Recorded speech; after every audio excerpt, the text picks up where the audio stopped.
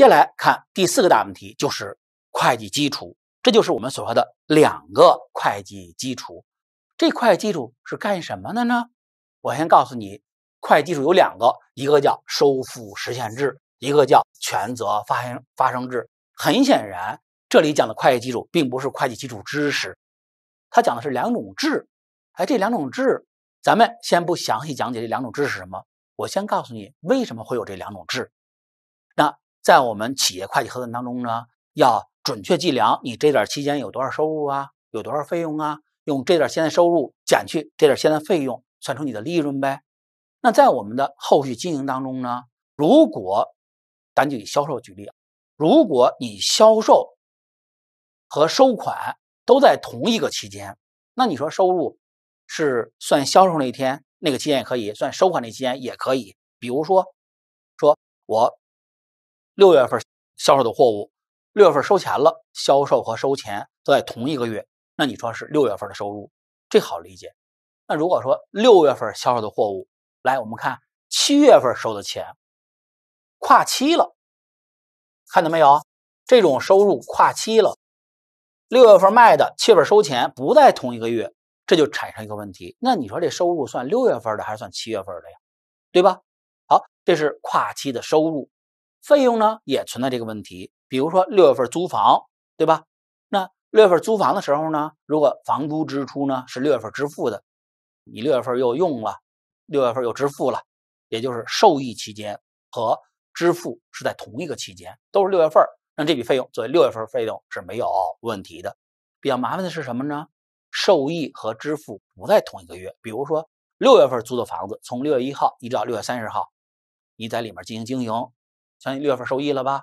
但是五月份支付的，六月份受益，然后五月份支付的支付时间和受益间不在同一个月，这就产生一个问题：这笔费用支出是作为六月份的费用呢？而作为五月份的费用呢，对吧？这种跨期费用怎么来进行处理？属于哪个期间的，对吧？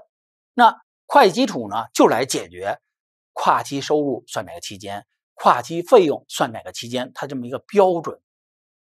这标准有两个，一个是收付实现制，一个是权责发生制。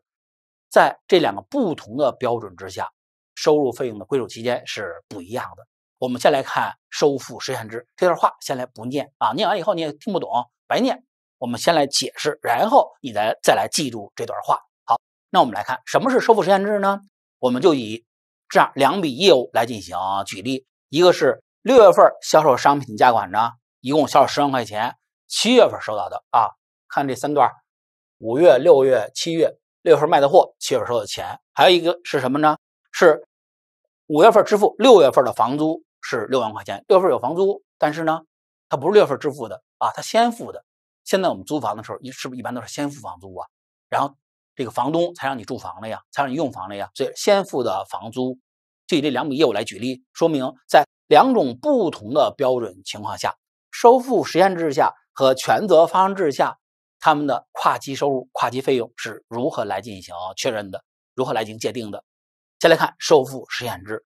收付实现制特别好理解，就是钱在哪月收到的，就记住哪个月的收入，不管是不是这个月卖货的啊，还是上个月卖的，还是下个月卖的，就以钱在哪个月收到，就作为哪月的收入。那我们来看六月份销售的，七月份收的钱，在收付实现制下，作为哪月的收入？自然作为七月份的收入。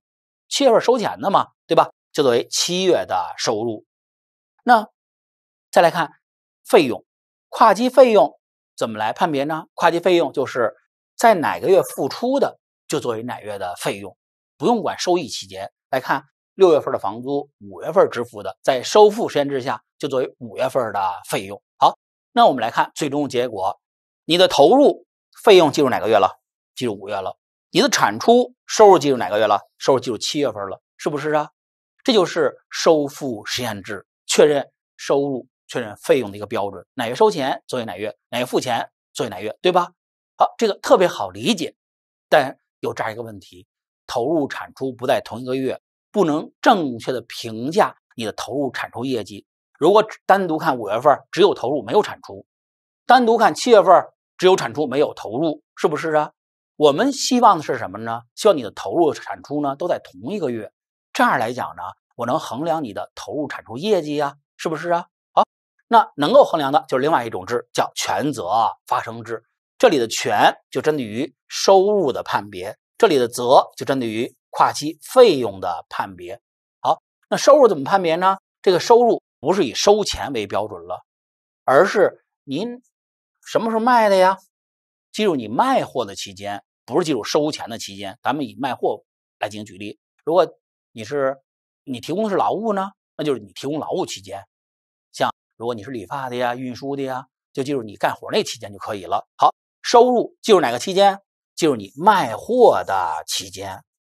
你卖货了，那你就有权利来确认你的收入，甭管你收钱还是没收钱。比如说，我们这里的六月份，六月份我们的业务人员啊，我们单位有一名业务人员叫侯大。我们单位有两名业务人员，一个是侯大，一个是侯二，俩侯。这个侯大呢，他负责啊销售，侯大负责销售啊。那侯大从六月一号就跟定一个大客户，哈，就像一个尾巴虫一样，就跟着大大客户说：“我们这产品怎么好？你来买我们产品吧，你来买吧。”哈，一直到六月三十号，对方说买，对方终于买了，那他把这货卖出去了吧？但非常遗憾，当月没收到钱。对方说下月才给钱呢，七月份收到的钱。那我们来看，这是你们看一下，那这笔收入算六月份更合理，算七月份更合理？是不是六月份干的活啊？对吧？六月份有权利来确认这笔收入，在权责发生制下呢，当月收钱了作为当月收入，当月没收钱也作为当月的收入，因为收入进入你干活那个期间，就是你卖货的期间，这就是权责发生制的权。那我们来看这种情形：六月份销售，七月份收钱，进入哪一份的收入？我想同学们应该能够给出准确的答复了，应该进入六月份的收入。好了那再来看费用的确认，就是来说责，这费用进入哪个期间呢？费用不是进入你支付的期间，而进入你的受益期间。说你支付这笔钱，哪个月受益就应该由哪个月来承担嘛？就是受益的期间。像五月份支付的六月份的房租，哪月收益呀？六月份收益呀。你五月份一天都没住，一天都没用，对吧？六月份收益应该就六月份的费用，尽管是五月份支付的。它不是以支付为标准，以受益为标准。那在这种情况下，那我们来看看，五月份支付六月份的房租，应该作为几月份的费用？应该作为六月份的费用。哪月收益就记入哪月的费用。好了，六月的收入和六月的费用。那我们来看一下，在六月有十万的收入，好了，然后呢，有六万的费用，也可以这儿来认为，你当月有六万的投入，有十万产出，你赚了，对吧？把收入和你的投入都放到一个月去，便于进行比较啊，便于衡量你的业绩呀。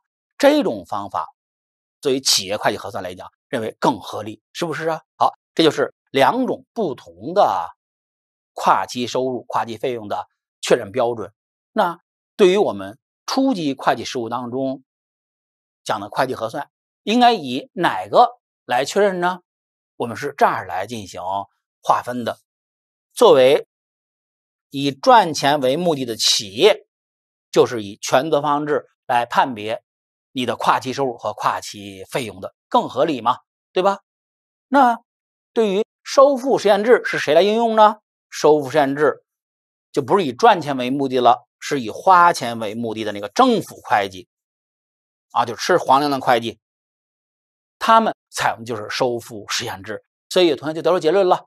以赚钱为目的企业采用权责发生制，以收以花钱为目的的政府会计采用收付实现制，听起来对不对？哈，你说对，实际上不完整。为啥不完整啊？对于政府会计来说呢，它是有两套账的，它有两个不同的核算系统。我就经常说那两套账，它更好理解。一套账呢采用收付实现制，另外一套账呢也采用权责发生制。所以准确来描述，就是企业采用权责发生制。政府会计既采用权责发生制，也采用收付实现制，不同的账采用的制是不一样的。这个是为我们后续来做一个铺垫。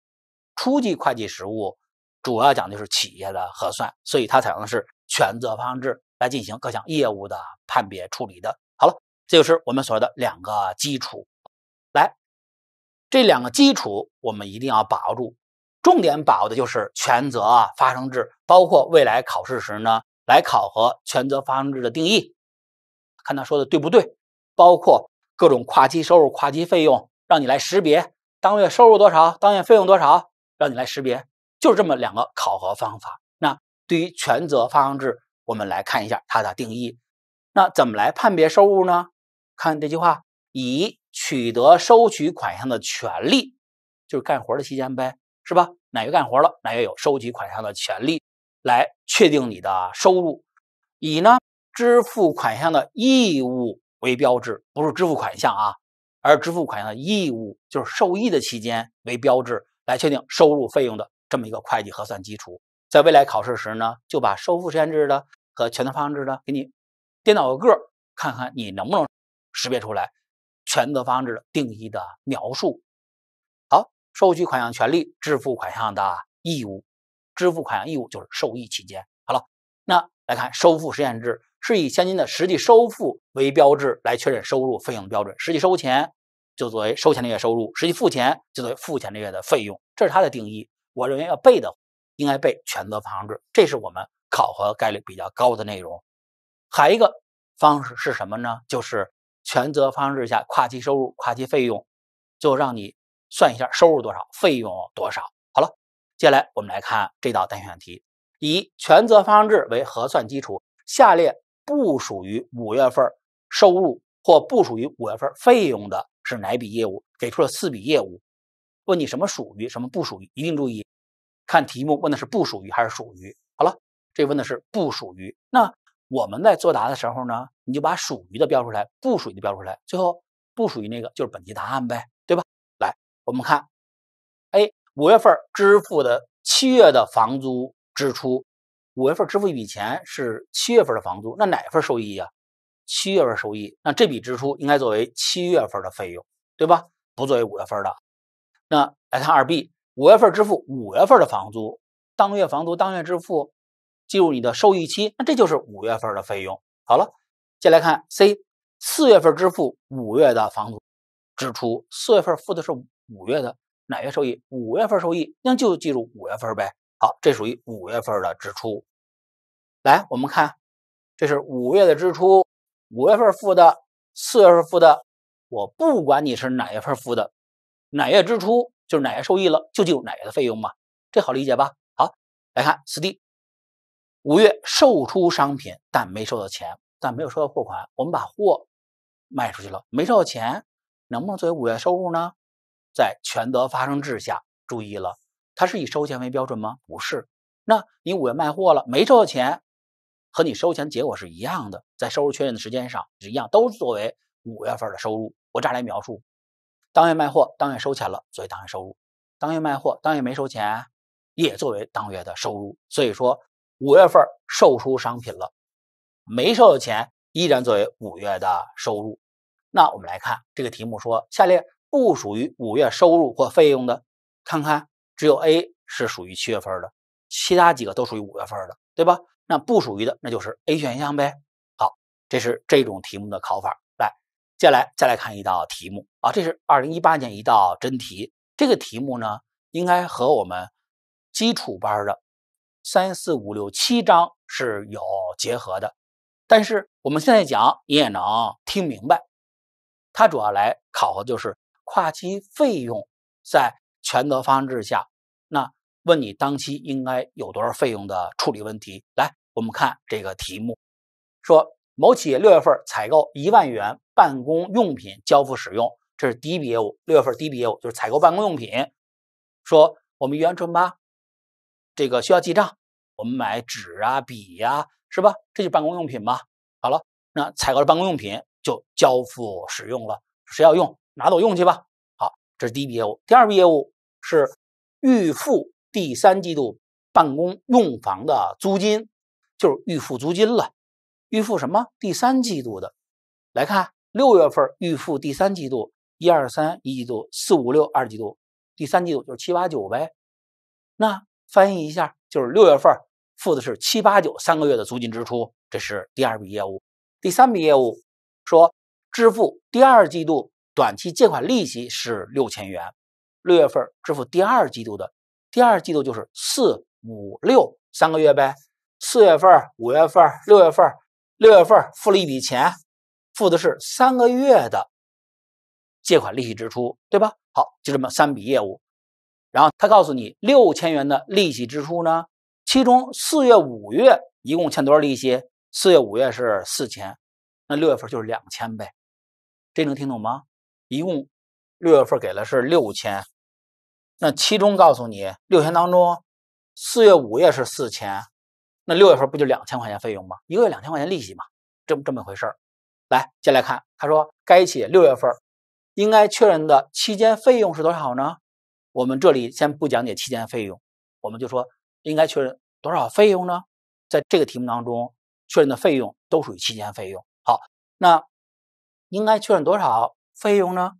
那就看一看你六月份受益的支出是多少，就应该负担多少呗。来看第一笔业务。第一笔业务，你采购办公用品，对吧？采购办公品，我现在采办了啊。在初级会计实务考当中，它有这么一个默认的游戏规则：采购办公用品买了以后，随买就随用了，所以就是当时马上体现费用，千万不要按照我们实际工作当中说买了用品先入库吧，将来呢不断的来进行领，不断的再进行用。那我们初级考试可不是这么做的啊。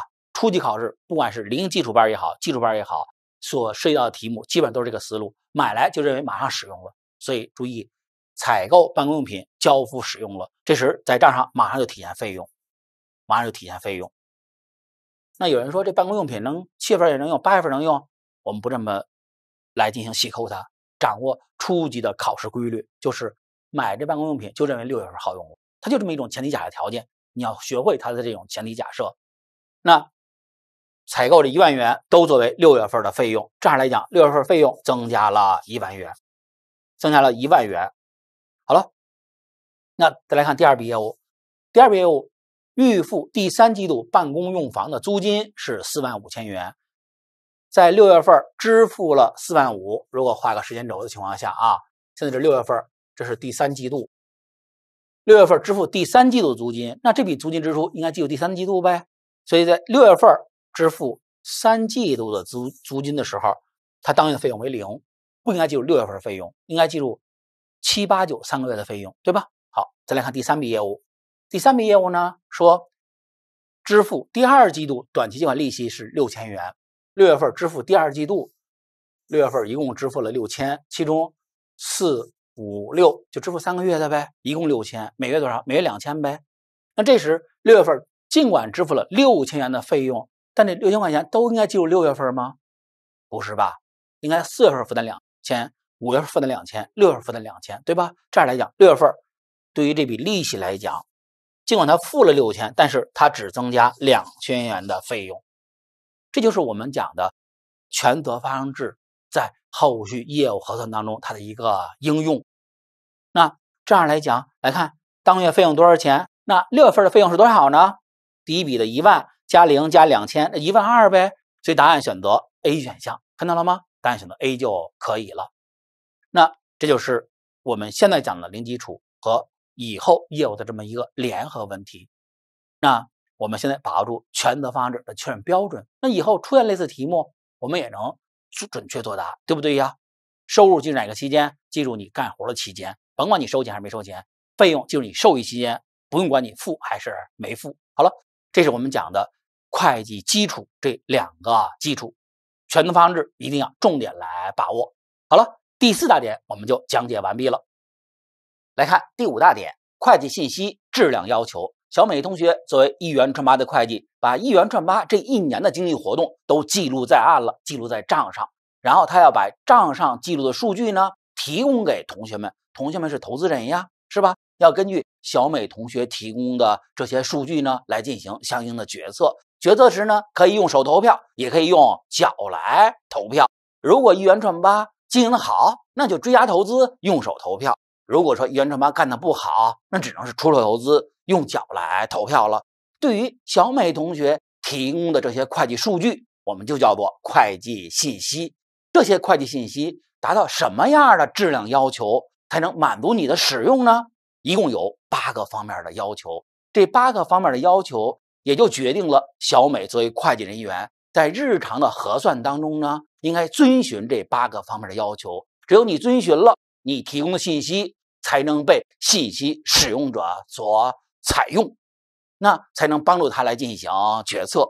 一共是八个方面的要求，这八个方面要求内容比较多。从我们未来考试的角度来说呢，我们首先要知道这八个要求的名称，因为在未来考试的时候呢，他会习惯性的有这样一种考法，把四个假设、两个基础，还有这八个要求呢，给你混到一块儿，然后让你来挑，他给的哪个选项是会计基本假设内容，给的哪个选项是会计信息质量要求的内容。我们的记忆方法是什么呢？毕竟四个假设、两个基础好记一些。从应试角来说，我们把四大假设、两大基础给排除了，剩下的选项基本上来讲呢，都是会计信息质量要求的组成内容。我们这样来应对会更好应对。如果说我们把这八个要求名称记住了，也是一种记忆的方法，但是内容比较多，对吧？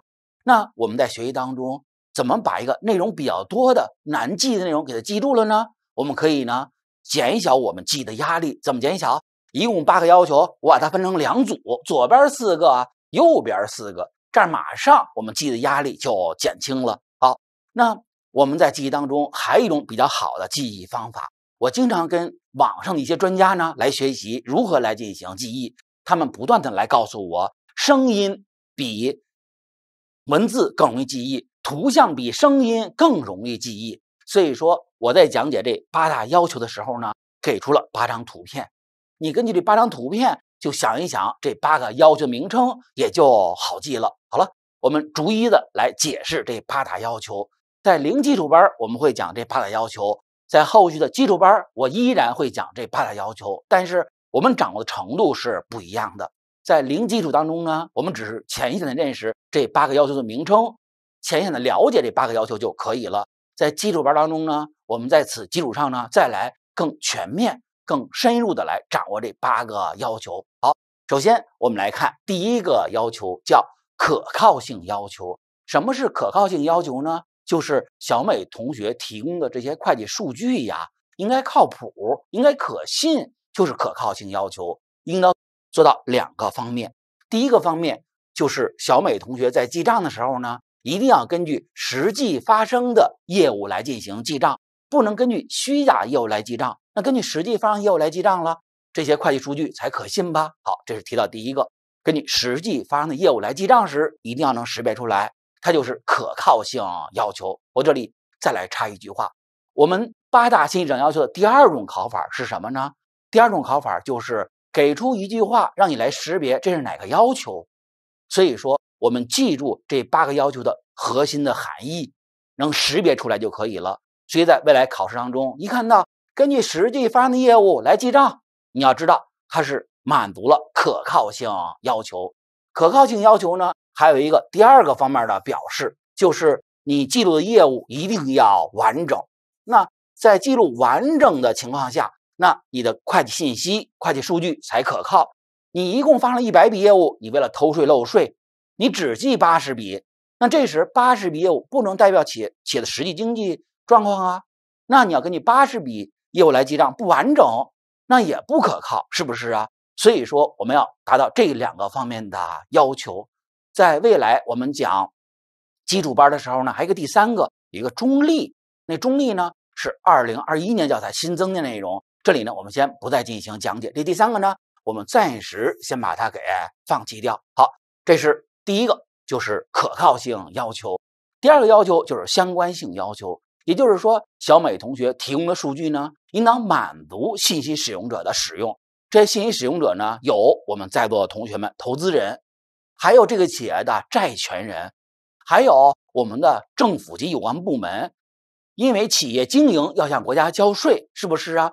作为国家的税务部门，就想知道你这家企业就是一个下蛋鸡，就是。这个挤奶牛，你到底这一年能下多少蛋，能挤多少奶？好像已经收税呀，他也需要了解你的信息。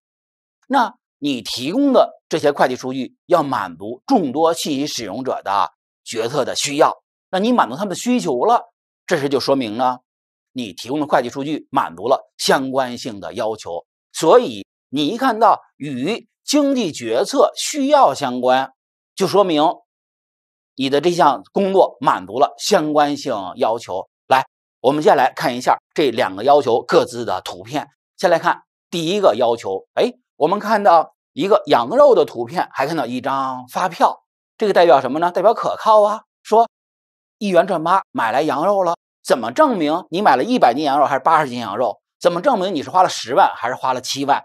怎么证明呢？有发票啊，对吧？有发票说明它是具有可靠性要求的，是根据实际发生的业务来进行记录的，对吧？好，那再来看第二个相关性要求，那。如果说一元赚八在疫情的当前，好，原来购了一大堆羊肉，那当时呢是有发票证明的。假设当时花了一百万来购买的，这一百万就构成了羊肉资产的成本，对吧？现在呢，由于有了疫情了呢，我们生产产品卖不动了，那现在我们也暂时先不生产了，羊肉就存在库房了。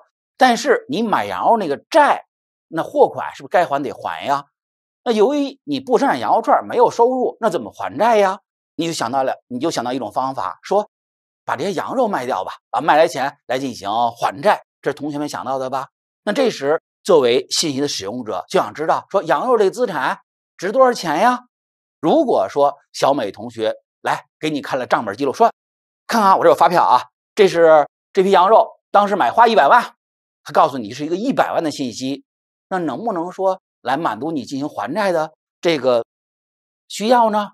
不可以，一百万是过去的成本，是历史的成本，对不对呀？那现在这批羊肉，如果你要把它给卖掉的情况下，能卖来多少钱的流入？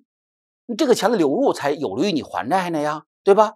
所以小美同学在进行记账的时候，只记录过去的信息，还不能满足你决策的需要，还要记录你现在的信息呀，对吧？才有利于你预测和决策呢。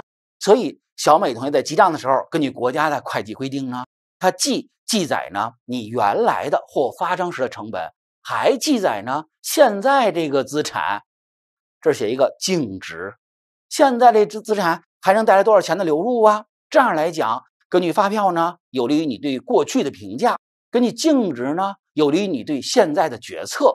那我又照顾到你过去了，又照顾到你现在的决策了，这时我就满足了相关性的要求。好了。这是两个要求，两张图片了。再来看第三个可理解性要求。小美同学提供的会计数据是供你来进行使用。如果他进这数据啊是罗圈账，他自己都看不懂，你作为一个外人来讲更看不懂了。应该是一个什么样的结果呢？他提供这数据呢清晰明了，清晰明了，很容易能看懂一元创八的经营情况，是不是啊？便于你理解和使用时呢，就叫做满足了。可理解性要求，这里要注意啊，有一个陷阱。陷阱在哪儿呢？如果考试的出题者是这样来出，你看看你们能不能掉进去？你听我说啊，假如我就出题者，我说了，说小美同学提供的会计数据呢，应当清晰明了，便于你们理解和使用，满足了相关性要求，便于你们使用，满足了相关性要求，对吗？不对，清晰明了，便于理解和使用是可理解性要求。而不是相关性要求，尽管说它可理解了，更容易让你们进行决策，但是它也不叫相关性要求，它叫可理解性要求，千万不要张冠李戴。那对于可理解性要求，我们看的一张什么样的图片呢？来，我们看小美同学在刚开始从事财务工作的时候呢，由于知识比较薄弱，犯了一个很严重的错误。什么样的错误呢？来，我们看这张图片。对于企业呢，有一个债务人，这债务人是谁？侯大。侯大不是企业员工吗？刚开始是企业债务人，后来没钱还债，卖身来抵债，在一元川八来打工了。说这侯大呀是原来是企业一个债务人，说原来呢欠企业一百万，欠企业一百万，那在某一天还了二十万，还了二十万，是不是还差八十万呀？这是侯大呢就给企业打了一张欠条，就写还欠款八十万。好，这里写着还欠款多少？还欠款八十万元，小美同学还挺满意。那说还积极还了二十万，还差八十万，还打一张欠条，证明他欠我们多少钱呗。然后我 这天作为聪明人士来到了一元川吧，说来我看看你的账。我领着同学们来看他，看像不像记账。我一看他这张欠条，这时能证明侯大还欠我们八十万吗？如果你这样来来看这欠条，还欠款八十万，还是还欠款吗？还和还是多音字吧，对吧？这样让我们信息使用者就产生误解了呀。我以为他是还欠款还了八十万呢，那就不利于我信息使用者的角色来使用了呗，不清晰明了。那我们在这个记账当中呢，不要记这种糊涂账，是不是啊？这样就没有满足可理解性的要求。这是第三张图片，第四是及时性要求。说小美同学提供的会计数据呀，它是为了满足使用者的需要来提供的，对吧？这个信息不能说延后，如果都决策完了你再提供，不能帮他决策了，说叫不及时。如果提前了呢，也叫不及时。及时性要求就要求你提供信息呢。不得延后，也不得提前。延后了不能满足你的使用，提前了呢不能完完整的反映企业业务的信息，所以不能延后，也不能提前。来看这张图片，这张图片就是我们个别同学啊曾经提供给我的一个作案的资料，曾经问我这样做行不行？我说不行哈。如果你这样做了，就是没有满足及时性要求。来。看哪张图片呢？就是这样一个图片，这是关于什么小规模纳税人增值税的起征点，从月销售额十万提高到十五万，这是怎么回事？就国家为了照顾小微企业，说你这家小微企业，你每月十五万销售额以下不用交增值税。那如果说你是十五点一万呢，就按照十五点一万全额交纳增值税。那现在呢，对于有一个学员就告诉我，他们企业发生这样一件事情，比如说他们第二个季度，第二个季度就是四五六三个月呗，对吧？它的销售的金额比较多，而第一季度和第三季度销售额都比较少。那第一季度、第三季度，由于它都不够四十五万的销售额，一月十五万，仨月不就是四十五万吗？它是按季度来纳税的。那第一季度、第三季度销售额都比较少，这是他不用纳税。但是第二季度他销售额超过四十五万了，就按照全额来进行纳税，对吧？最后这个学生呢就动歪脑筋，他说：“如果这样做，我是不是就可以不用纳税了呢？”我说：“你怎么做的？”他说：“二季度比较多啊，那我把二季度销售额呀，我别都算二季度，那我算到三季度去，这样二月也少了，三季度也少了，都不满足四十五万，那不就不用交税了吗？”或者说，我把二季度销售额呢，我给它减一些，然后放到一季度去，这样一季度、二季度都不够四十五万，也不用交税呀。好，这是它的一种税收，号称叫税收筹划的方法。那我们来看，它是不是违背了你现实了呀？你二季度多就应该是二季度纳税嘛，对吧？你人为的来调节你个月的收入来逃税，那我们说呢，如果你错后了不及时，如果你提前了呢，没有真正反映企业的经济业务情况。这个没有满足及时性要求。好了，这是这四个要求。对于这四个要求来讲，在未来考试的考的比较简单。怎么考呢？就给出一句话，问你他这是哪个要求，那是考核比较简单的。来，再来看第二组要求。第二组要求呢，在未来考试的时候呢，考的相对来说出镜的频率会高一些，考的会难一些。为什么呢？因为第二组来讲，理解起来呢内容比较多。有的地方呢也比较难。好，我们来看第二组要求。先来看第一个，就是可比性要求。我们说小美同学提供的数据让你来进行决策，那你怎么使用啊？一定是比较，是不是啊？要么把一元串八现在的数据和过去来比较，是吧？说过去你有一百万的销售额，今年有一千万，干得挺好，对吧？说过去一百万，今年一万，那干得很差，可以和过去来进行比较。如果说一元串八刚开始成立没有过去，那你还可以和同行比较啊，和其他的串八来比较一下，说你这一年一百万，其他串八一年五百万，那你干的还不行，对吧？其他串八一年干三万，哈，你一百万，那就干的挺好。所以说，我们要想让会计数据能使用起来，这时呢，要让你的数据呢进行比较，是吧？那怎么才能比较呢？一定要注意你加工数据的方法。加工数据的方法应当是一致的。咱们举个例子来进行说明。来，我们来看，这里是一元串八销售的羊肉串看到了吗？香喷喷的羊肉串那对这个羊肉串来讲呢，是一元纯八的产品吧，将形成收入，可以和过去来进行比较。假设有过去，说在过去的时候，在记录这个收入账的时候呢，过去采用收付实现制。那现在呢？现在记录收入的时候呢，采用的是权责发生制。那我们前面讲过两个不同的计算跨期收入和跨期费用的标准吧？一个采一个是根据实际收到钱、实际付出钱来算收入费用的，权责发生制呢是根据你应该算多少收入、应该算多少费用来确认收入和费用的。这样来讲，你看它加工收入和费用的方法不一样，最后就是用收入比收入，能比较吗？方法不一样。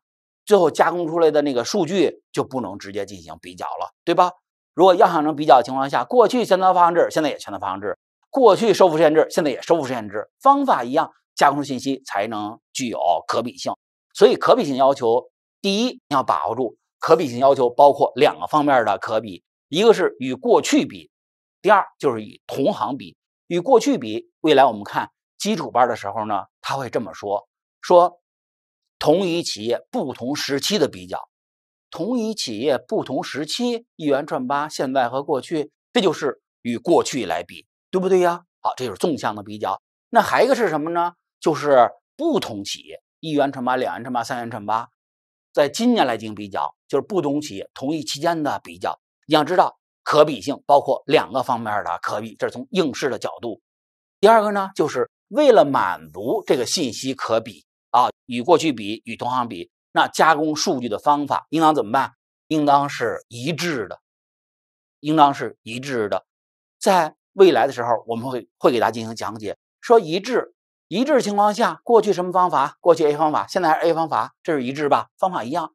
那如果过去 A 方法，现在按照国家的规定啊，我们变成 B 方法了，这时满足不满足可比性要求呢？过去 A 方法，现在 B 方法，我们说依然满足。那这个方法是改变了呀？怎么还满足啊？因为他有这么一句话，他说不得随意变更，是什么？不得啊随意变更。注意，不得随意变更，不是不能变更，不是不能变更。不得随意变更指的是什么呢？指的是当国家有规定的时候，如果你变了，更能反映你单位经济活动情况的时候，你的方法也可以改变。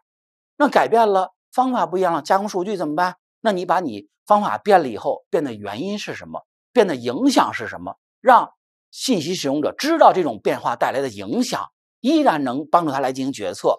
这时，这种合法的改变也叫满足可比性要求。所以这里我们要加以注意了。第三个，在未来考试的时候说，是它的核算方法不得改变吗？不得变更吗？不是。准确来表述，一定是不得随意变更，不得随意变更才是准确的，不得变更就是错误的。好，这是可比性要求。来，接下来我们再来看重要性要求。重要性要求呢比较好理解，就是会计员在记录一元纯八的各项经济活动的时候呢，一定有重要的业务，一定有次要的业务。什么是重要？什么是次要的呢？就是这个会计数据呀。如果说能影响信息使用者使用，说这个数据就是重要的；如果这个数据呢，你简化核算了，不影响信息使用使用者的使用，那这个数据呢就是不重要的，就看它影响不影响使用了，对不对呀？好了，那我们在进行会计核算的时候呢，对于重要的业务，一定按照会计准则的规定呢，按部就班的来提供数据，不能简化。那对于不重要的呢，那就可以简化来进行处理。来，我们举个例子来帮大家来记住重要性要求。好，那来看这句话：一月份支付了全年的杂志费十二元。来看这儿一本杂志，从网上搜了一本杂志啊，《财会学习》。我们给小美同学订阅了一本《财会学习》的杂志，让她学习会计知识，将来更好的帮助豫园春妈来进行赚钱。这个杂志费。真的很便宜啊！一年才十二块钱，一个月一本杂志。好，那在一月一号的时候，我们就给小美同学订了这个一年的杂志，在一月一号支付了十二块钱。那这时就产生一个问题：你支付这十二块钱是费用支出吧？对吧？那是计入全年的费用呢，还是计入一月份的费用呢？这就产生一个问题了。根据我们前面讲的权责发生制，看这支出在什么时候受益，是一个月受益还是全年受益呢？很显然是全年受益的。按照理论来讲呢，我们应该把它记入全年的费用支出，对不对呀？但是小美在记账的时候说：“我已经跟赵老师学习了，对于这十二块钱来讲呢，不重要，费用太少了，是吧？我都给他记入一月份，还是平均分到个月。对新使用者来讲不重要。”不重要的情况，我就简化处理呗。如果说这十二块钱都记入一月份，和记住每个月每个月负担一块钱吧，都能影响你们的决策，那原创吧快完了。那他就简化处理呗。不重要的事情简化处理，他把这十二块钱全都记入了一月份的费用，全都记入了一月份的费用，简化处理了。不重要的事情简化处理，体现的什么要求？体现的就是重要性的要求。好了。这是重要性要求，我们先有这样一个了解就可以了。好，那在未来基础班当中，我们再更全面、再更深入的来进行把握。先知道有这么一个要求，有这么一个感性认识。来，再来看第二组，第三个叫实质重于形式。实质重于形式要求呢，更多的是考核它的应用。给出一个业务处理，你要知道它是符合的是实质重于形式的要求。什么叫实质重于形式呢？就是。我们在记录一项业务的时候，哎，大家看一看我们前方，想象有一项业务，这样业务呢，有它外在的法律的形式，还有它内在的实质。在更多情况下，外在形式和内在实质是一致的。你说按照实质来核算，你说按照外在法律形式来核算都没有问题。但是有些个别业务出现的时候呢，它外在的形式和内在实质不一样，那你是按照外在的法律的形式来核算呢？还是按照内在实质来核算呢？有同学说，我们应该依法来进行记账，按照外在法律形式不对。我们的要求是什么？实质重于形式，应当按照实质来进行会计核算。来，我们看两张图片，第一张图片帮助我们理解，帮助我们记忆实质重于形式这种浅显的理解。第二张图片来说它的应用。来，我们来看第一张图片，就是这里头，在美丽的大草原上呢。那有羊在慢慢的吃这些青草，多么舒服，多么享受啊，对吧？现在我我想问你，这张图片当中有几只羊啊？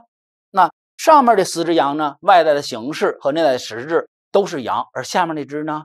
披着羊皮的狼，外在的形式是羊，内在的实质是狼。那很显然，我们应该按照内在的实质来进行核算。你会告诉我，一头狼和四只羊，对吧？这才更符合你业务的实际全貌，这就是看实质而轻外在的形式。再来说它的实际的应用，在我们的基础班讲解当中呢，会讲解这种实际的应用。现在呢，我们简单的了解一下就可以了。来看这里有一个漂亮的这个住宅，是吧？漂亮的住宅，那这个住宅呢是一项房产，这个房产能不能作为一元串八的资产呢？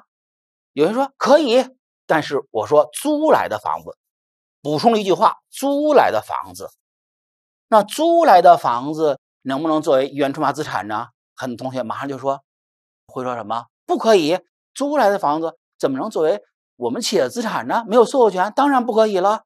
但是在我们有一些业务出现时，就是租来的房子的满足一定条件情况下，在账上。按会计处理规定，也可以作为资产来进行核算。在账上有这么一个账户，叫什么叫使用权资产？租来的房子，我们确实是享有它的什么权？使用权，而没有享有它的所有权。在会计处理上呢，像这种情况，没有所有权，拥有控制权的情况下呢，也可以作为企业的资产。这是我们最近两三年来讲的一个比较重大的变化，把租来的资产也也作为资产来进行记账了。为什么呢？它就是体现的是实质重于形式，外表形式是租来的，但内在实质呢和自己买的没什么区别，所以也作为自己的一项资产来进行核算了，就是使用权资产。我也讲一个我的学生呢过来聊天的时候谈到的这样一个事情，更能帮大家来理解租来的房子也作为资产来进行核算，能更好的帮助你们来记忆这件事情。来，咱们说一说这个事情，聊一聊天说呢。这个学生呢就跟我说，说呢他是城市的户口，然后呢他现在想在农村呢买一个农民的宅基地，他想把这农民宅基地呢，把那旧房给拆掉，然后上面呢盖上新房，然后自己呢上这去住，享受一下农村的田园生活，对吧？那他在买卖过程当中，国家有法律规定，城市人呀，按照我们现在的规定，不能买农村户口的宅基地，不能买，不让买。如果你们之间成交了，将来不受法律保护。那在这种情况下，这个学生就开始动脑筋了。怎么动脑筋呢？假设这个同学叫甲，好，这个农民那农民称为乙，好，这甲呢就这学生，就跟那个农民呢，他们签了一个租房合同，签了什么合同？租房的合同，在合同当中约定，假设就这小院说未来租一百年，未来租多少？租一百年。那在这一百年期间，如果说这房子拆迁了，谁受益？不是农民了，承租人学生受益。这签这合同当中就这么约定的。说如果在这个一百年当中呢，如果房子塌了，产生损失了，或者说国家把地给收走了，损失由学生来承担。那我们来看一看，对于这个学生来讲，他能不能活一百年，我都要打一个问号，是不是啊？那现在就产生一个问题，他把租来的房子，那在他账上，你说能不能作为他的资产？实际上，这学生他有小道消息，他说不超过五年，这房子要拆迁。那很显然，将来带来利益流入都归他所有呗。你看，外在的形式是租来的，内在的实质和自己买的有啥区别呢？没什么区别，对吧？现在会计准则就这样一个处理，在满足一定条件情况下呢，把租来的资产也可以作为资产来记账，只不过账上写的是叫使用权资产。它的应用是什么？来一块说一遍，什么重于什么？叫实质重于形式。实质指的就是这四个字：经济实质，就是内在实质；形式就是外在的法律形式。好了，这是实质重于形式要求。再来看最后一个要求，叫谨慎性要求。谨慎性要求在八大要求当中考核频率是最高的，因为你不大好理解呀。好，我给你来进行解释一下。说赵老师呢，在秋天的北京，在漫步的时候呢，从来不在树底下漫步。说为什么呀？北京的秋天呢，风比较大。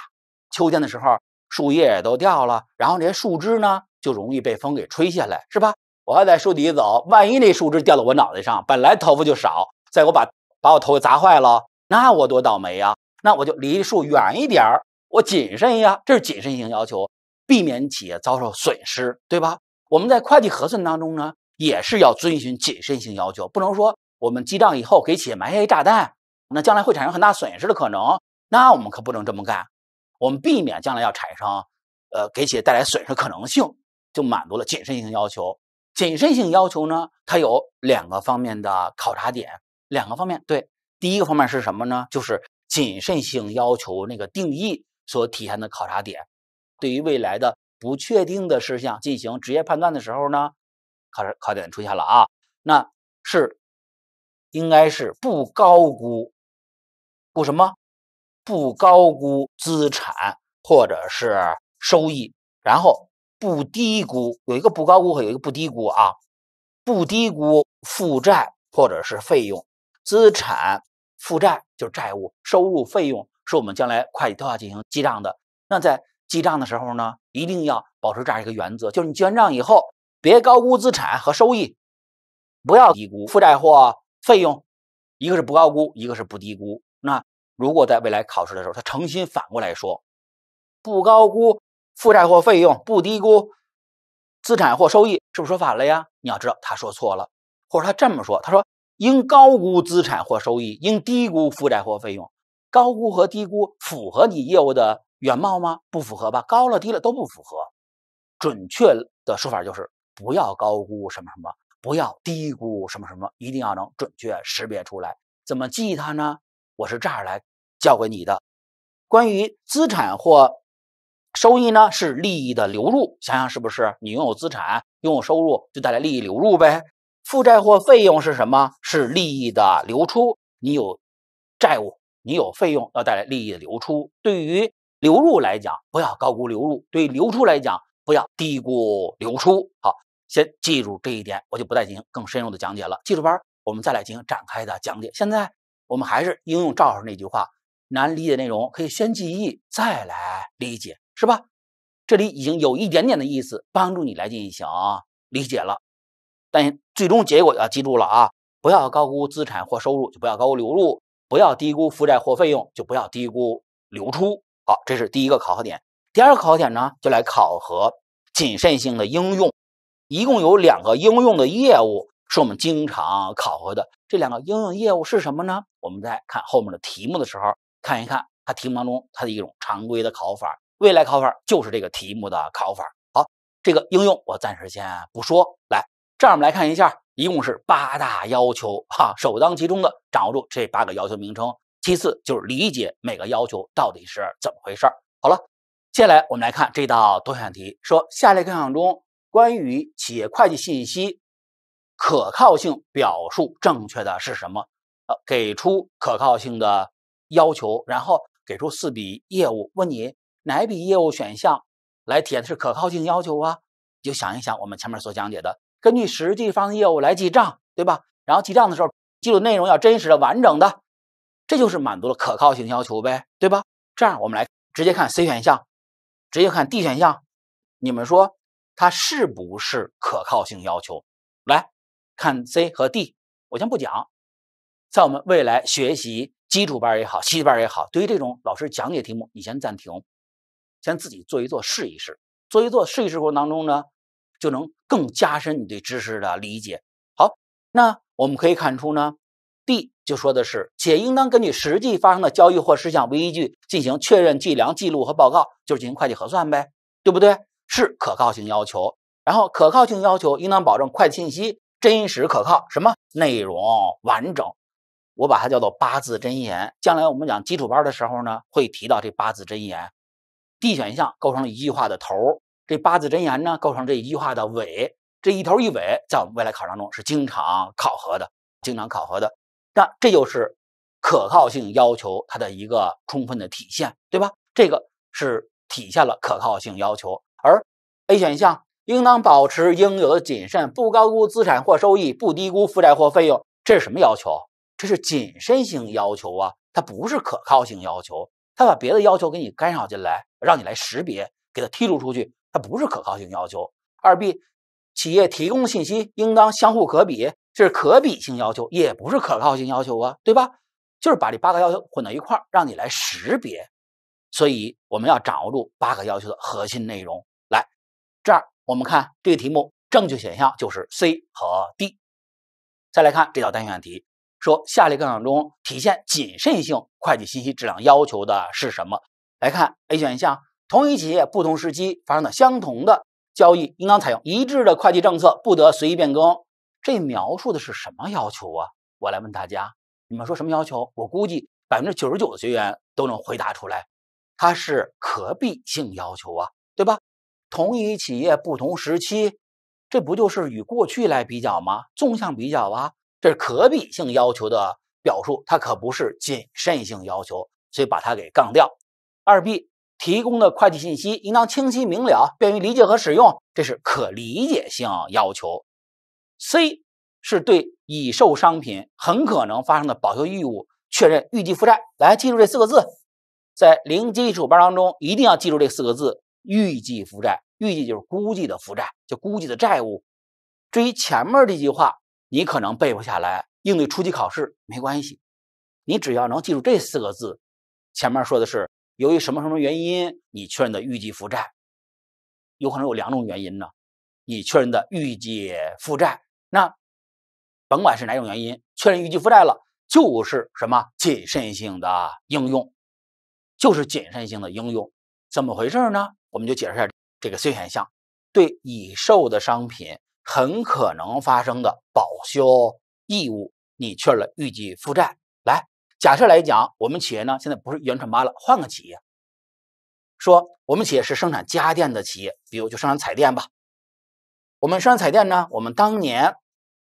就卖了多少呢？我们卖了，销售收入是一百万的销售收入，然后我们还提供了三年的质保，未来提供三年的质保，就是在未来顾客买的三年期间，如果彩电的质量问题，我们企业免费负责保修。好了，那在我们二零二二年，假设当年是二零二二年啊，二零二二年我们卖了一百万，然后呢，我们当时就估计，就估计未来会发生多少保修费用呢？会发生百分之十的这个保修费用。一百万百分之十就十万呗。这十万是在未来第一年、未来第二年还未来第三年，那就不好说了。但是估计会发生。那这样来讲，我们看未来要发生的这十万的保修费用，计入你二零二二年呢，还是计入未来的这三年期间呢？问计入哪个期间？估计有同学就说计入未来期间，未来保修发生时，那就计入当期费用就可以了呗。现在会计规定不是这样做的。如果把这费用计入未来期间，在二零二二年就低估费用了呀。我们说的是不低估负债或费用。那由于二零二二年在进行销售的时候，我们根据以往经验是估计未来会发生百分之十的保修费用。那估计百分之十的保修费用，对吧？好，我们把这笔费用呢，在二零二二年就要记账，二零二二年就要记账，在账上反映有十万。什么费用？估计的费用出现了，十万估计费用入账以后，才能正确的衡量你二零二二年的业绩。怎么能说正量正确衡量呢？你看，你当年销售收入是一百万，由于你有由于你有了这个销售收入以后，未来会发生十万的费用吧？这费用如果计入未来期间，能正确衡量你今年的销售业绩吗？肯定不可以的。由于今年销售正确的来算，你的业绩应该是九十万的流入。而不是一百万，因为未来还得留出十万去呢，对吧？你的正确业绩应该是九十万。那在这种情况下，在二零二二年的时候，在账上就要增加一项费用，再同时增加一项估计的负债。这个估计的负债就叫预计的负债。说预计十万的费用，预计十万的债务，毕竟这个钱还没花出去呢嘛。这种处理方法就叫体现谨慎性要求。在二零二二年的时候，你把费用记账了。未来要发生十万修理的流出，那好了，那现在我没有低估，把费用记账了，负债也估计记账了，就是体现谨慎性的应用。好，这是一个谨慎性的应用，同学们一定要把握住。对售出商品很可能发生的保修义务确认预计负债。好，对于谨慎性应用来讲呢，这是一个，还有一个第二个，第二个是什么呢？对各项资产计提减值准备。对各项资产计提减值准备，我写一个产检，不是产妇检查，是各项资产减值了，它的处理它也是体现谨慎性要求，就这么回事我们在零基础呢，先不给大家讲太多了。那详细内容呢，你可以去听基础班的讲解。那你可以现在就记住了，说由于各种原因确认的预计负债，对各项资产计提减值准备都是谨慎性应用。实际上，你就学到这种程度，你就不再去看资产减值体现谨慎性的解释，应对我们考试也都没有问题了。但是咱们还是理解了，不会更就是更好一些呗？啊，基础班再来深入讲解了。那这里我们说的是谨慎性应用有几个？有两个。好，先记住它。接下来看四 D 选项，及时将编制的财务报告传递给使用者，这是及时性要求，不是谨慎性要求。那这个题目正确选项呢，就是谨慎性的应用，对吧？那我们对于谨慎应用，希望从两个方面来把握。第一，就是我们刚才这里提到的这句话，就不高估资产或收益，不低估负债或费用，一字不差的都要背下来。好，第二就是谨慎性两个应用，各种原因确认的预计负债，还有各项资产计提的减值准备。好了，八大要求我们就讲解完毕了。应该说，在我们第一讲当中，这八大要求是我们学习一个难点。那怎么办呢？迎难而上，对吧？再难，我们多看两遍，也就能把它拿下了。好，八个要求我们就讲解到此。